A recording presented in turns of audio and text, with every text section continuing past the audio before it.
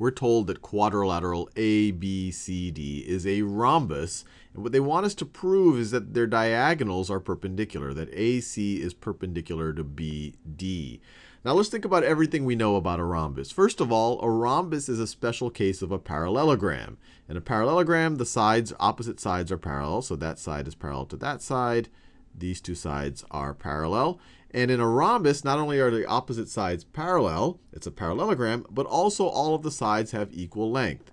So this side is equal to this side, which is equal to that side, which is equal to that side right over there. Now, there's other interesting things we know about the diagonals of a parallelogram, which we know all rhombi are parallelograms. The, the other way around is not necessarily true.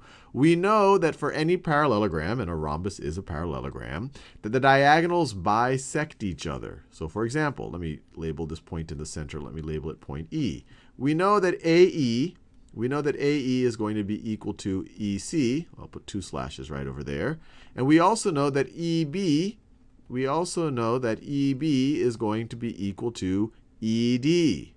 So this is all of what we know when someone just says that ABCD is a rhombus based on other things that we've proven to ourselves. Now we need to prove that AC is perpendicular to BD. So an interesting way to prove it, and you can kind of look at it just by eyeballing, is if we can show that this triangle is, is congruent to this triangle, and that these two angles right over here correspond to each other, then they have to be the same, and they'll be supplementary, and then they'll be 90 degrees. So let's just prove it to ourselves.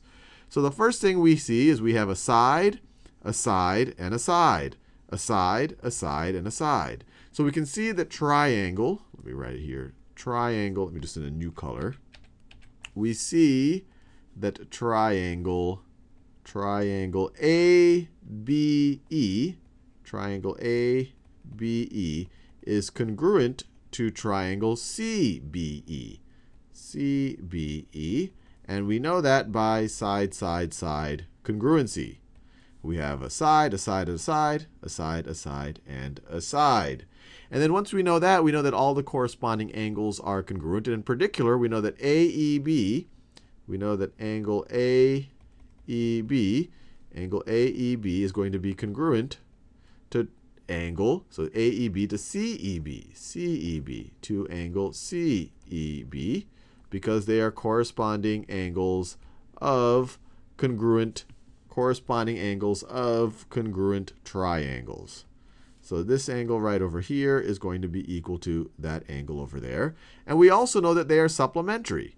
And so if they're both supplementary, so we also know, also and let me write it this way. They're congruent and they are supplementary. Supplementary. So we have these two are going to have the same measure, and they need to add up to 180 degrees. So if I have two things that are the same thing and they add up to 180 degrees, what does that tell me? So that tells me that angle, the measure of angle AEB is equal to the measure of angle CEB which is equal to, which must be equal to 90 degrees. They're the same measure and they are supplementary. So this is a right angle and then this is a right angle. And obviously if this is a right angle, this angle down here is a vertical angle, that's going to be a right angle.